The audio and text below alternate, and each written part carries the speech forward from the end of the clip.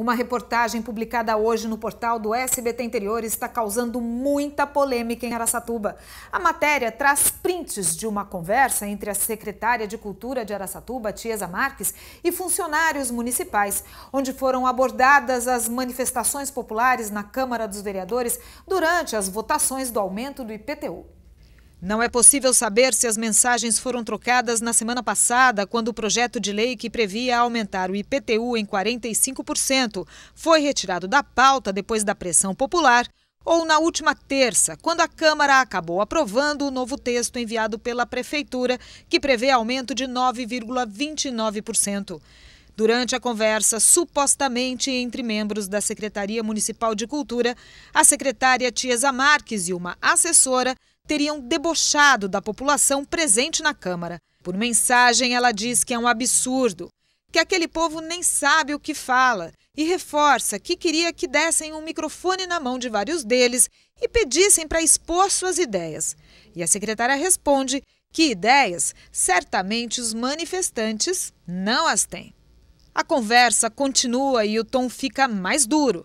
A secretária afirma que os moradores estariam lá por terem recebido pão com mortadela e uns trocados. Em seguida, ela afirma: petistas malandros e seus comandados são assim. Nossa produção conversou por telefone com a secretária Tiesa. Ela confirmou que a conversa saiu de um grupo de funcionários municipais, mas questionou a importância dada ao assunto. Eu, eu acho, Patrícia, é uma coisa importância isso, nem sei por que, que as pessoas estão dando tanta importância a essa conversa. A secretária voltou a criticar membros do Partido dos Trabalhadores. Eu sei apontar quem estava lá. Eu sei quem estava lá por um pão com mortadela, infelizmente. Ela também afirma ser vítima de um crime virtual. Não é justo também alguém se arvorar e qualificado para pegar uma conversa de um grupo internet. Isso também é crime.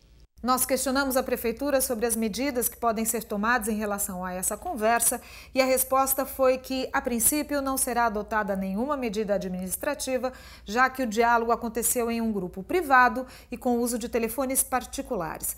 Já o presidente do PT em Aracatuba, Adel Daia Filho, afirmou que o partido repudia os comentários da secretária. Disse também que são absurdos e que não têm nenhum fundamento.